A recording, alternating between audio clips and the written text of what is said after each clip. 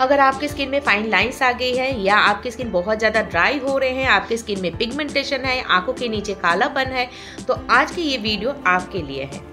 आज मैं इस वीडियो में आप लोग के साथ शेयर करने वाली हूँ हाइड्रा फेशियल घर में आप लोग कैसे कर सकते हैं। Skin lightening skin brightening hydra facial at home hello and once again welcome back to mate glow with Pompa में मैं पोम्पा आप सभी का स्वागत करती हूँ फिर से एक बार इस चैनल पे। तो चलिए स्टार्ट करते हैं।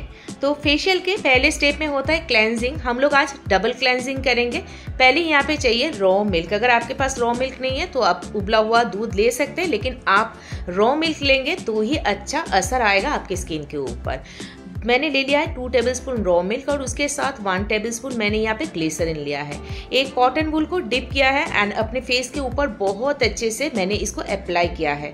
इसको अप्लाई करने के बाद तीन से चार मिनट तक इसको हमें रखना है। बहुत अच्छे से कॉटन वूल से हम लोग इसको क्लीन करेंगे ऐसे फेस को। उसके बाद हम लोग नॉर्मल प्लेन वाटर के साथ अपने फेस को धो लेंगे। और सेकेंड स्टेप में जो हम लोग क्लेंजिंग करेंगे, उसके लिए मैंने यहाँ पे ले लिया है वन टेबल स्पून बेसन एंड उसके साथ मैंने यहाँ पे रोज वाटर मिलाया आया है। आप लोग नॉर्मल पानी का भी इस्तेमाल कर सकते हैं, लेकिन रोज वाटर हमारी स्किन के लिए बहुत ज़्यादा फ़ायदेमंद होते हैं। इसलिए मैंने यहाँ पे रोज वाटर का इस्तेमाल किया है।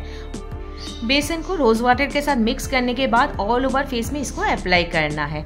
इससे क्या होगी? हमारे स्किन के अंदर जो डेड सेल की लेयर है, वो हट जाएगी। उसके साथ साथ हमारे फेस में जो black heads and white heads होते हैं, वो भी रिमूव हो जाएगा।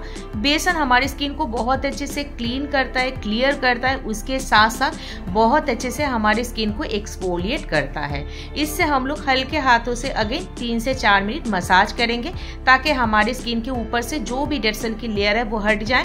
उसके साथ साथ ब्लैक हेड्स व्हाइट हेड्स भी रिमूव हो जाए। इस प्रोसेस को मिनिमम दो मिनट तक करना ही है। एंड उसके बाद एक मैंने वेट टिश्यू लिया है। उसके साथ ये जो बेसन का पैक लगाया था, इसको बहुत अच्छे से वाइप आउट कर लिया है। वाइप आउट करने के बाद प्लेन वाटर के साथ मैंने अगेन फेस को धो लिया है। उसके बाद हमें प्रिपेयर करना है एक मसाज जेल का या नहीं तो मसाज क्रीम का। उसके लिए आपको लेना होगा एक बीट रूट और उसको आपको ग्रेट करके उसका जो जूस है उसको निकाल लेना है। अगर आप लोग इस प्रोसेस को कर सकते हैं तो बहुत ही अच्छा है, लेकिन बहुत टाइम हमारे पास उतना टाइम नहीं होता है। अगर आपके पास टाइम नहीं है तो आप लोग इस जगह पे बीट रूट का पाउडर भी इस्तेमाल कर सकते हैं, ऑर्गेनिक बीट रूट का पाउडर। तो मैंने यहाँ पे वन टेबल स्पून आज बीट रूट का पाउडर लिया है। उसके साथ मैंने यहाँ पे एलोवेरा जेल लिया है एंड उसके बाद मैं यहाँ पे ऐड करूँगी ग्लीसरिन जो हाइलोरोनिक फैमिली से बिलोंग करता है। हाइड्रा फेशियल में मस्ट इसको यूज़ करना ही होगा। इसी से आपके स्किन में फाइन लाइन्स नहीं आएँगे। स्किन हमेशा हाइड्रेट रहेगी। इसके साथ साथ हमारी स्किन में जो डार्क पैचेस आ जाते हैं, वो उसको भी कम करता है। विटामिन सी का खजाना होता है बीटरूट और बीटरूट को यूज़ करने से स्किन बहुत ज़्यादा लाइटन एंड ब्राइटन हो जाती है। अब हम यहाँ पे ऐड करेंगे one vitamin E capsule vitamin E capsule भी हमारे स्किन को बहुत अच्छे से लाइटन करते हैं ब्राइटन करते हैं। हमारे स्किन में एक यूथफुल ग्लो ले आती है, उसके साथ साथ फ्री रेडिकल से हमारे स्किन को बचाते हैं। अगर आप चाहते हैं कि आपके स्किन में कोई एजिंग का साइन ना दिखे, आपके स्किन बहुत ज़्यादा ग्लो करे, आपके स्किन में कभी भी डार्क पैचेस ना आए तो विटामिन ई कैप्सूल आज से ही स्किन में लगाना स्टार्ट कर दीजिए। एक विटामिन ई कैप्सूल अगर रोज़ाना आप लोग फेस में यूज़ करते हैं तो स्किन में जो एजिंग के साइन आते हैं ना, वो नहीं आते। उसके साथ साथ स्किन में हमेशा एक यूथफुल रेडियंट ग्लो रहती है। तो यहाँ पे देखिए हमारा जो मसाज क्रीम ये बन के तैयार है। इसको ऑल ओवर फेस में पहले अप्लाई कीजिए एंड उसके बाद हल्के हाथों से इसको मसाज करनी होगी। यहाँ पे जैसे मैं दिखा रही हूँ मसाज करना, ऐसे ही आपको मसाज करनी है। अगर आपको मसाज करना नहीं आता तो मेरे चैनल में बहुत सारे वीडियो है जिसमें मैं फेशियल मसाज कैसे करते हैं उसको मैं दिखा चुकी हूँ। उसको भी आप लोग चेकआउट कर सकते हैं। और आपको नहीं आता तो जैसे मैं नॉर्मली यहाँ पे स्ट्रोक दिखा रही हूँ, वैसे ही आपको मसाज करनी होगी। सेवन टू एट मिनट तक, ताकि ये मसाज क्रीम बहुत अच्छे से स्किन में पेनिट्रेट हो जाए और ये सारे हमारे स्किन के डीप लेयर तक काम करे। बहुत अच्छे से हमारे स्किन में ग्लो आ जाए। मसाज करते करते आप लोगों से एक छोटी सी रिक्वेस्ट है।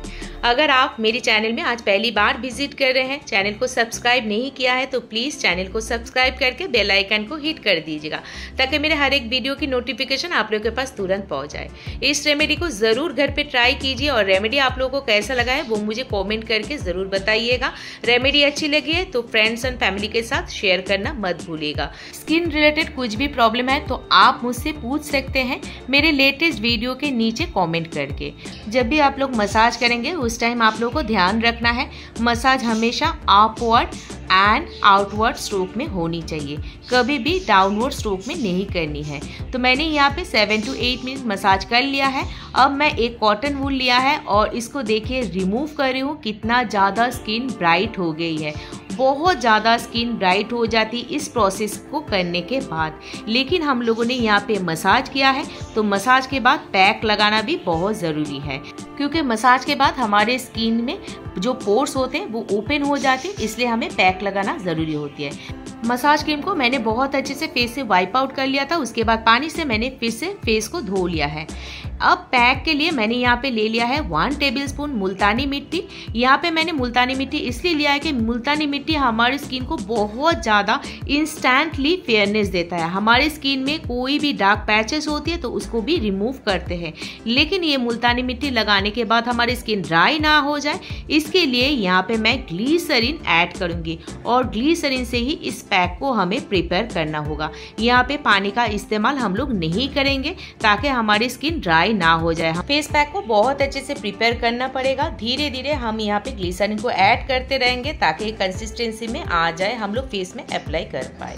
आज इस फेशियल में हमने पहले यूज़ किया था रॉ मिल्क रॉ मिल्क हमारी स्किन को हमेशा हाइड्रेट करके रखता है। हमारी स्किन को सॉफ्ट करते हैं। ये एक माइल्ड कैंसर होता है। उसके साथ साथ हमारी स्किन को बहुत अच्छे से सपल करता है। हमारी स्किन को लाइटन एंड ब्राइटन भी करते हैं।